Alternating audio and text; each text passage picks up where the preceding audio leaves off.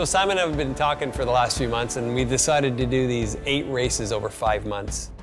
Eight of the toughest endurance races in the world. Do whatever you can off the toughest things we can find.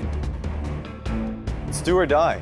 So this is our playground for the next year. We've got eight races to do, a thousand kilometers of racing. Start number one, Iceland. 250K Ultra. Running from the biggest glacier in Iceland all the way north to the ocean.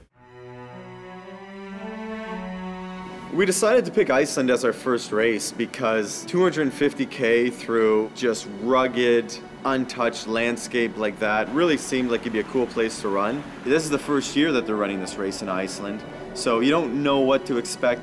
Doing the seven day stage race, carrying all your gear, this is setting the bar pretty high for what's to come.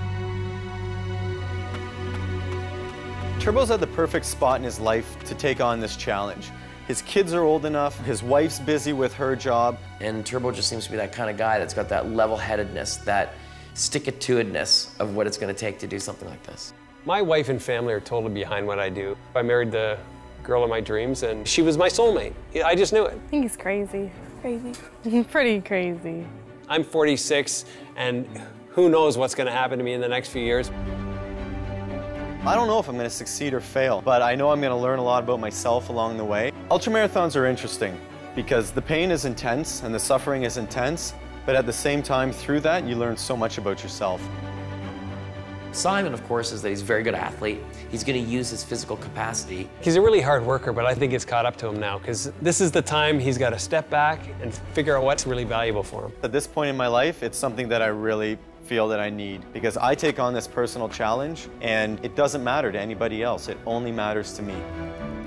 I'm not afraid to push myself right to the limit. I'm at the front of the pack. I just love the run, man. I just love it. Just take it by the balls, man. It's gonna be hell on the body, but I'm looking forward to it. The greatest hazards for these guys in Iceland are going to be managing their clothing. Body uses a tremendous amount of calories when it's trying to stay warm. There's a misconception that you're not going to get dehydrated in the cold. You can get just as dehydrated in the cold as you can in the heat.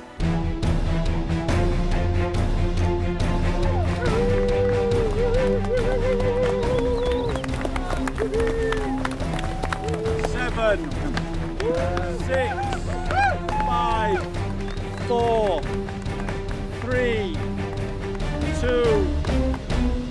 Oh,